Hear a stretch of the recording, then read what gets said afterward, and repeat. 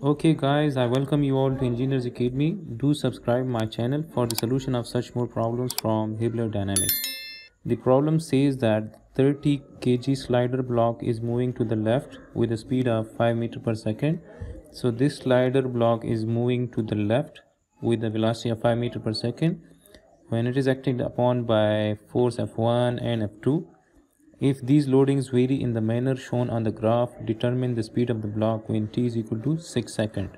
Neglect friction of the mass and the mass of the pulleys and cord. So we are given the uh, force F1 and F2 versus T graph, right? This is the variation of the force with respect to time.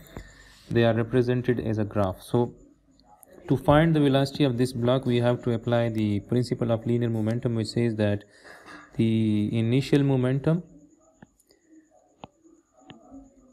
plus the impulse due to the external forces that will be equal to the final momentum. So the initial velocity is let's say v and it is said that the initial velocity is 5 meter per second and the mass is 30 so i will write 30 into 5 and then we will have two kind of uh, impulses since we have two external forces right? So we have f1 external forces and if we uh, draw the free body diagram so we will have we will have four f1 forces. We will have this f1 this f2 this is again f1 and this f1 so this is four f1 forces are acting towards the right. And here we will have f2 force towards the left. We will have only f2 force. This rope is continuous. This rope is continuous so we will have that same f2 force which is acting towards the towards the left. So this is f2 so now we will have the impulse due to 4f1 and due to f2 so we can write this equation is we can write that uh, this will be the impulse due to 4f1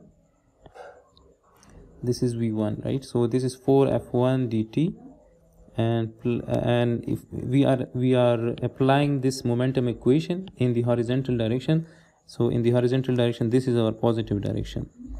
So the the initial velocity is in the is towards the left. It is said that it is towards the left. So so if if this is my positive direction if this motion is my positive direction so the velocity is acting in this direction which is considered to be negative. So we have to write minus sign here. So this is minus, uh, 5 meter per second.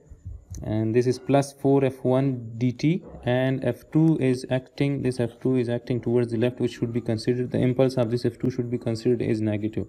So we will write that minus f2 dt and this is equal to the mass is again 30 and we have to find that v2 so now we are given the force f1 and f2 distribution in the shape of this graph and area under under the curves uh, will always give us the impulse right? So we can we can write uh, in this term we can write 4 outside of the integration.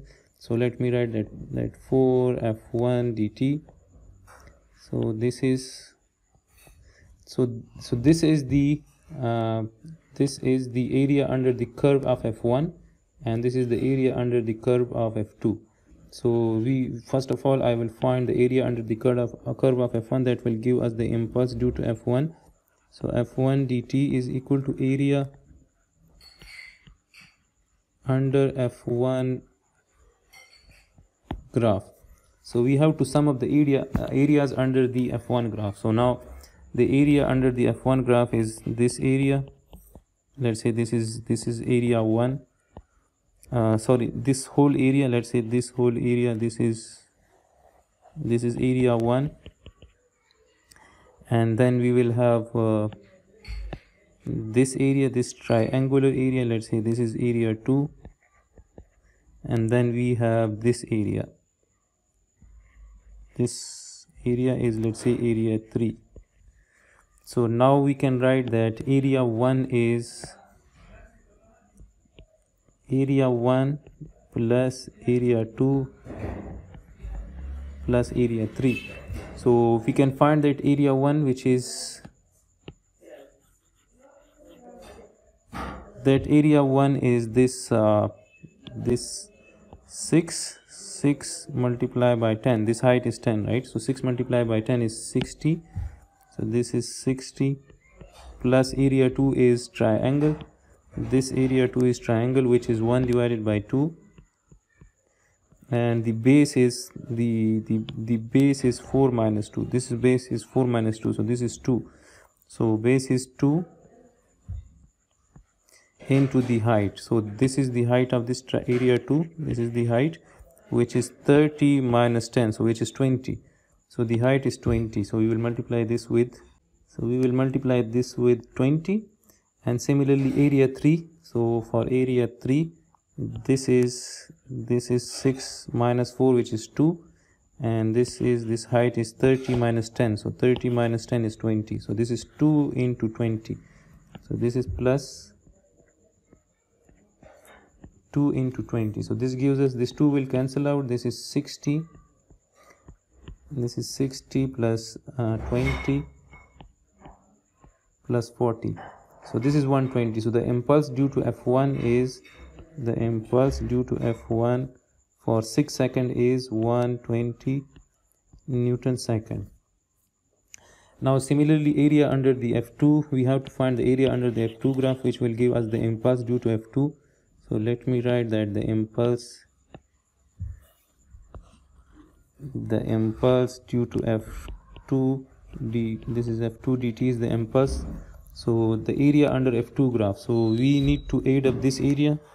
First of all we have to add up this area. This is let's say area 1 and then we will have this triangular area. This is area 2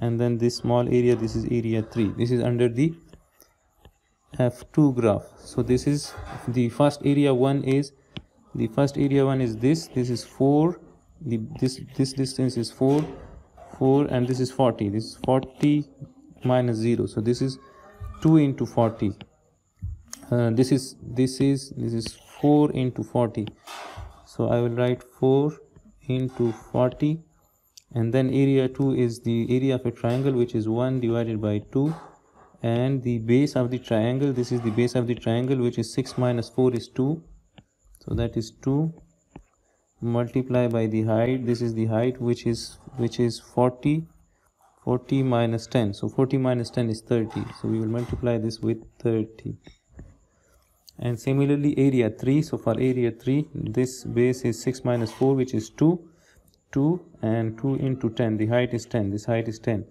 so so that is 2 into 10 is 20 so plus 20 so 4 into 40 is 160 this will cancel out. This is 30 plus 20 so this gives us 210 newton second. So we have determined the impulse due to f1 which is 120 newton second and the impulse due to f2 now we can use those values in this equation. So when i use those values in this equation so our equation will be so this is 30 minus 5 is 150 so let me write that this is minus 150 let's say this is our equation a. So I, I we, we are going to put the values in that equation a. So this is minus 150 plus 4 into the f1 dt this is f1 dt so f1 dt is 120 newton second. So i'll multiply this with 120 and then minus the impulse of f2 so minus the impulse of f2 is 210 and this will be equal to 30 into v2 which is v2 is the velocity after 6 seconds since this this is the impulse for uh, time 0 to 6 seconds.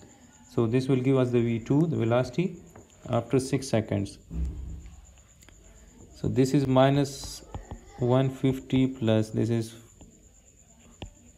480 minus 210 this is equal to 30 v2 so this gives us uh, 120 this gives us this is 480 so this is 120 equals to 30 v2 and from this we can write that v2 is 120 divided by 30 from which we get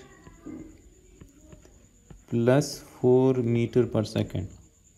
So now this means that the, the velocity value is meter 4 meter per second and the plus sign means that the block is moving towards the right. Since our assumed positive direction was in was towards the right. So if the if the velocity value is plus 4 meter per second so after t equals to 6 second the, this block is this block is moving towards the right with 4 meter per second since our uh, positive direction was towards the right. So initially the block was moving towards the left with velocity of 5 meter per second and after t equals to 6 second the block is moving towards the right with a velocity of 4 meter per second.